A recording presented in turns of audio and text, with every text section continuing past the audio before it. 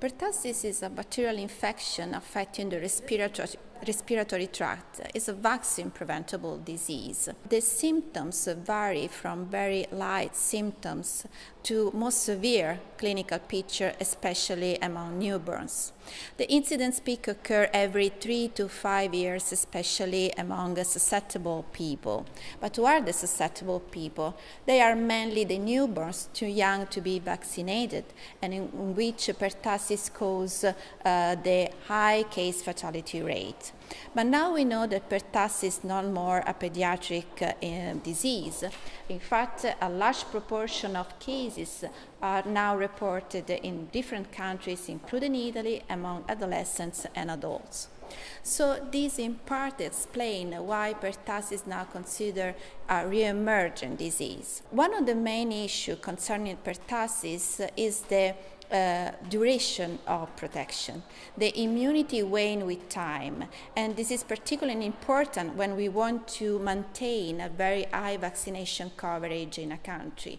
For this reason, it's recommended a booster dose in a preschool uh, age for children after the primary vaccination, but also for ad adults every 10 years of age. To protect the newborn is also recommended the um, immunization of uh, uh, the pregnant women.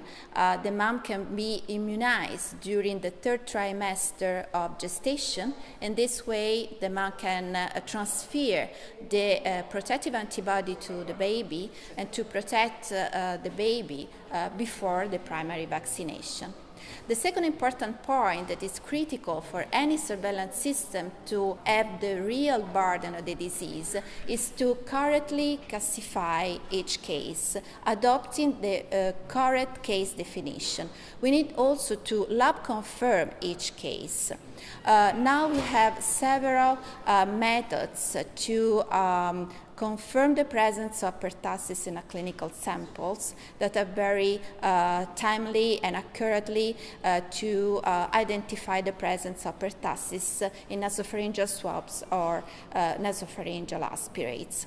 Finally, we need to type the strains in order to identify mutated B. pertussis strains causing disease in the population, since now we know that uh, there are many variants occurring in the genes uh, for uh, protein uh, production for the protein that are normally part of the current um, vaccine formulation.